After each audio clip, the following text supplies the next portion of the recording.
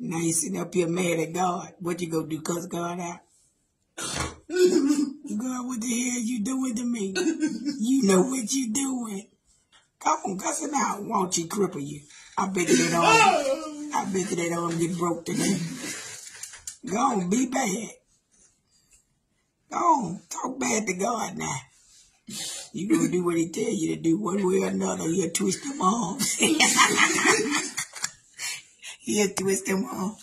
Come on, talk bad to God like you talk bad to me. Stick your finger up at the Lord, because it's going up there when you stick it up. Stick it up if you bad. Stick it up. That's what I thought. yeah, I bet you scared, ain't it? I bet you you scared. Do what you gotta do to God. Tell him, nigga, you know what you doing.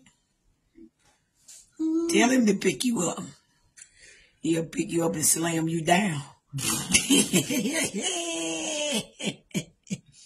Not these cripple ass boom.